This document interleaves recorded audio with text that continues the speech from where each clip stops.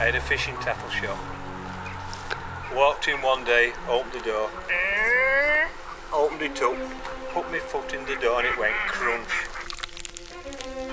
What's that? Crunch, crunch. And the fridge was steaming. All the maggots had got out. It was nasty. It was horrible. 20 gallon of them. It were a nightmare. In the back, it was a little yard, and I could hear screaming. There was a young lady there with two kids. The maggots have escaped. They've escaped. They're all over the place. There were thousands, millions. They were all over the place. And it was maggot invasion of Chesterfield.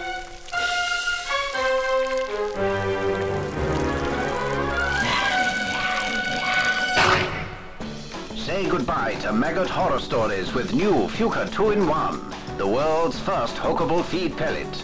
Get yours at fjuka.store, just 50 yards from this cinema.